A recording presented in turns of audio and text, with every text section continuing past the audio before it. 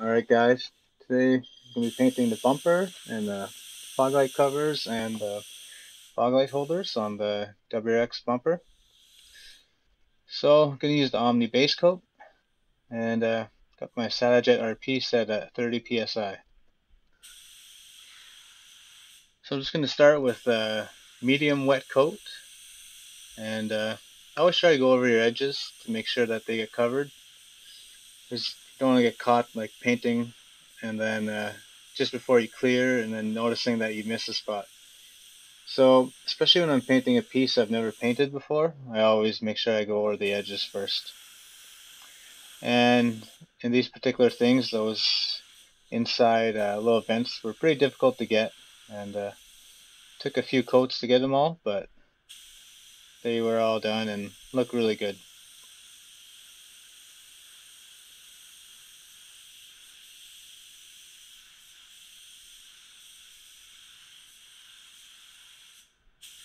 So again, I'm just going to be recording the first coat of, um, of spraying because I need to find a good case for my GoPro that I could just kind of take off and clean with a tack rag or maybe a little bit of gun wash if it gets really bad. But right now it's the only case I have, so I don't want it to get too dirty. You can see by the end of uh, spraying the base that it'll get everything will be a little bit tinted red on the recording.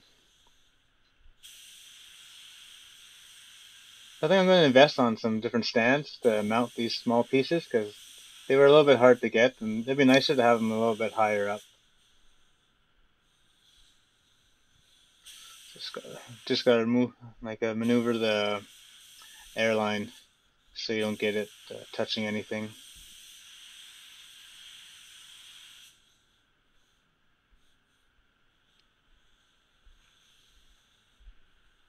So I always make sure I get the the inside edges of the bumper because it gets forgotten pretty easily.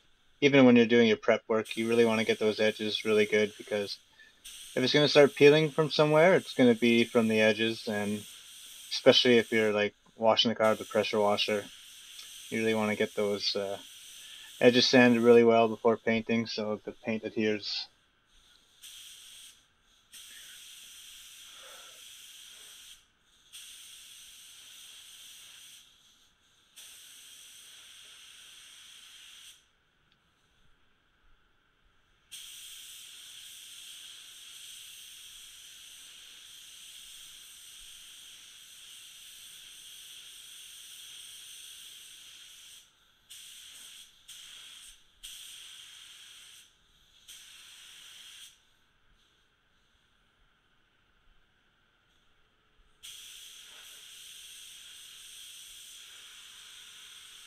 I know uh, some YouTuber owners might be asking, uh, why am I painting the whole inside here red? Well, I primed the whole thing because just the I wanted a good base for like the actual paint to stick on. So I'm gonna paint and clear that whole inside part that's supposed to be black, and then uh, once it's all cured, I'll paint it black afterwards. That way, I have all the paint has good adhesion and has a good uh, base to start with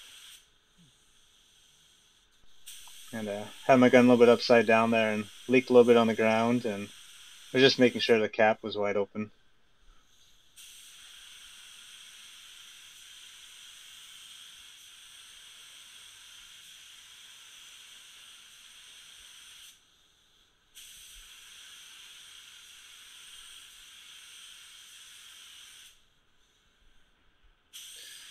So again, if you do have a proper booth with a good burner and a good heating system, you don't really have to put your first coat, on this light. You can put it on uh, pretty heavy, especially with base coat. Especially if you have a metallic, you want those metallics to flow properly and land properly. Like this is a pretty dry coat just to get uh, some good adhesions. I don't get any runs in your base coat.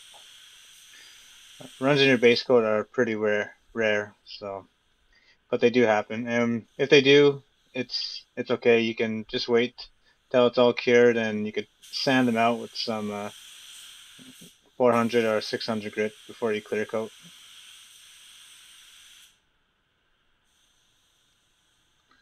But this is looking pretty good. Should got everything covered, and next coat will will be put on uh, much more wet to get some good coverage. So now with the clear coat, again at 30 psi, and same thing with the base coat. I'm gonna go over all my edges just to make sure they're all covered, and then once they're all got some good coverage, I'll be going on uh, pretty heavy. So again, first coat, just uh, medium wet. Some people call that a grip coat, just so the don't get any runs in the clear and you can put your next coats on uh, pretty heavy. So I did put this on a little bit heavier than I would for a grip coat, and then I hammered on two really heavy coats.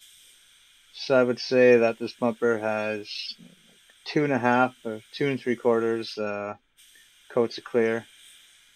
And I added a 10% uh, flex additive to it too.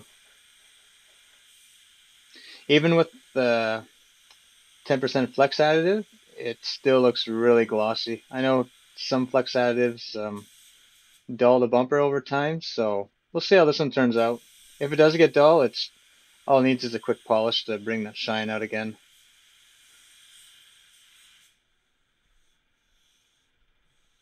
And we'll see how it holds up to the rock chips with that extra clear and extra flex in it.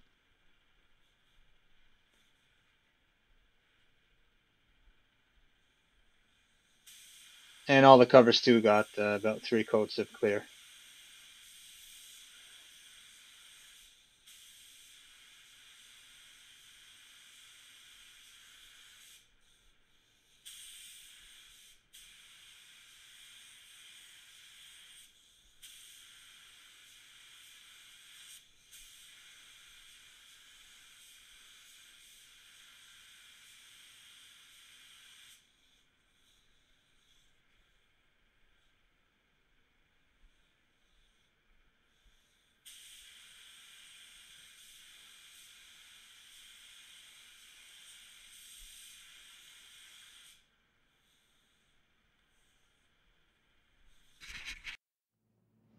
And here it is after uh, drying for a day. I think it turned out awesome. Looks really good. Just maybe like five or six uh, dust nibs in the whole job. Pretty happy with that. Can't wait to see it installed on the car. It's going to look really good.